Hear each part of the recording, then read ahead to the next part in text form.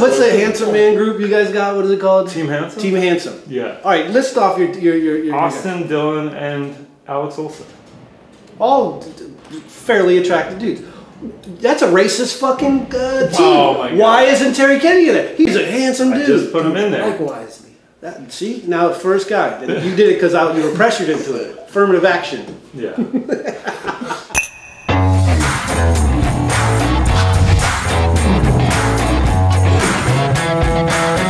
got another funny story. Uh, with Thrasher, with Jake Phelps. I lip slid a 13 um, when I was out there. And he was like, dude, I give where? you, Out- and, and, and up north, sorry. Oh, San Francisco. San Francisco. Okay. He was like, dude, I'll give you the cover. You do this 20. Tried to do this 20 is like downtown San Francisco. the famous federal Yeah, the building. fe- yes. Famous federal building. Have you ever seen that one? Which one? Oh, it's fuck. Give me a trick. Snarty. Um, uh, Tasha ended up doing it. Tasha Tasha did did it, it, right? some- Tasha's like, uh, get you gas. He's like, dude, I give you a thrasher cover. like, you know, the next day if you do this 20, I was like, well, man, I'm probably about 15. Like, mind you, I barely was able to do that one. Like, that one took me some tries. So I'm like, okay, 14 to a 20. So I'm like, all right, guess what thrasher? All right, I'm down. So third try, try it, fall, knock the wind straight out of myself. straight just clipped on the way up, foot hit on the way up, clip. Straight to the ribs. All right. But you know what I had to understand? This was my welcome into skateboarding. Like, and then the next day he came to me and was like, hey, like you're forever good at skateboarding. Like we, we got your back. Like, you know. And it's one of the moments where I was like, all right, and that happened with me with Transworld Thrashers, Skateboard Mag, everything. It's like you fall down a spot and they, after a while it's just like, dude, like welcome to skateboarding. You know what I mean? Like I got told that every every time and I was just like, damn, this is this is real. Like this is fun and at the same time this is this is real. Do you ever go back and land that? No, no. Don't fuck with that one. no. And it stayed windy. It up. stays windy up there too. So that was the problem too. It was like everything was working against me that day. Yeah. Everything, the wind factor, never skated rail that big before. Yeah. Like everything, I was just like, damn, all right. Phelps like, watching. Phelps watching. I feel like you're landing too. When you land, you have to kind of carve out to the sidewalk or something. Yeah, it goes in- It goes into It goes into a wall. It's not even like that much. I'm not kidding. You go like. You feel like that's the one aspect of your entire professional career or life that's never let you down. Like skate's Yeah. always been there. Like you can go off and do whatever and come back and like, look, skate still loves me. Yeah. The skateboard mag still loves me. The thrasher still loves me. Yeah. Right? Whatever it may be, Um, still loves me. and my me. wife, well, talking to my wife recently, she was the one um, who helped me understand that too. More was like, man, at the end of the day, like your your culture and your livelihood relies on skateboarding. Right. So a lot of stuff that I, I do want to get involved with, I realize like it's not my path. My path is skateboarding. Right. And for me to go through, I went through some stuff recently too, which it was tough. And to go through that and see who had my back and my family back was skateboarding. Right. So it's like, damn.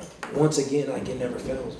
Like skateboarding always comes through once you you loyal to it. You know, Yeah. like as long as you're loyal to it, it's always gonna come through. Yeah. You know, you gotta be loyal to skateboarding. And every time I wasn't, I took a fail, I fall, and understand that. Yeah, 'Cause there's a lot of people like when Musco did dipped in the music biz for a while. Musco's at the peak of his shit, man. and to think he could go and just transcend that, Jereme. and Jereme is well. well Jereme's Well, an it was- anomaly. Like I think, I think maybe he could. He was peaking too. He was It was right when he, he did amazing at Tampa Peaking. Pro. He got the face tat, and then it everything went Yeah, it's so crazy. Like Yeah. At the time, he was supposed to ride for Baker. Then I took his tape to Jerron Wilson and Stevie Williams. Before a girl, you mean? Before a girl, yeah. No way. You're just hooking up everybody. Yeah. aren't Damn, you have the tape. it's No, charging ten percent on this shit. I should have, man. I think about it Could now. had some of that I'm like, Aston Martin money that he had. Jeez. His But um, we met Seen him on a. Baker tour, same way. We were probably like 15. Met him on a Baker tour. We wanted to put him on a team. Andrew said it's, he had it was too much energy. We had Knox, me, and Evan. That was a lot of energy, and he had a lot of energy. And we was like, dude, we need him. And we had Herman, sorry. So we was like, damn, we need him. Like he, he was buck. like we just had a full amp team, and we were just like already, I guess, enough, a handful already. So he gave us our tape. I ended up giving it to Jerron Wilson, and Jerron ended up like showing Stevie and all them at the time, and giving it to Mike Carroll, and then boom, he got on. it. Hey, did you help Bryan get on Baker? Herman? Yeah, Herman. Yep. I Took his that tape to um to Andrew and um Beagle. Yeah, we was at the trade show. Probably it was in Long Beach. Um, Wait, how'd you know Bryan? he walked up to us then. Oh. Walked up to us at the trade show in Long Beach. It was we were probably about twelve. And gave you a tape? Gave me his tape. Walked up to me. Was just like, "Hey Terry, like I want to get on Baker." Okay, I got the tape. I'm like, "All right." We walk. I said, "Man, just hang with me." Something about Herman. He was just, and it, and it made sense because me and him, we share similar backgrounds. He grew up in a, in a situation like I grew up in. So, before, me getting to meet him, like I already, it's something like, like I felt that. Like he, he just came up to me, and was like, "T man, like, I want to ride for Baker." Like he was just that confident. He was like twelve. He was like So that confident. Man, he was like, man, gave me his tape. We kicked it all that day at the trade show. Then I said, okay, man, come back to come back to the hotel, man. I'm gonna I'm gonna watch your tape. I'm act like I was a teenager. at that time. I'm like, okay, You're like, so I was like, you're like a year older than us. Review your resume. We're gonna go. We're gonna go over the numbers. We're gonna crunch the numbers. So I, funny. So yeah, I take the tape back. I'm like, all right. So I'm gonna look at the tape, man, and then you know I I let you. I go back. When you put the tape in, he was tail sliding Wilshire ten at the time. We Yeah. like, Yeah. wow. Like I only was at that time. I was crook in Beverly Hills 9 mm-hmm. So I'm like, damn, he tail sliding Wilshire ten at this time. Like went to Andrew, went to Beagle. At the time, was like, and Evan and Knox. It was like, dude, we're putting him on the team. I just had to make the executive call. I'm like, I'm like 12. Man, man, he's he's on the team. Like Reynolds and everybody was like, man, well, he's.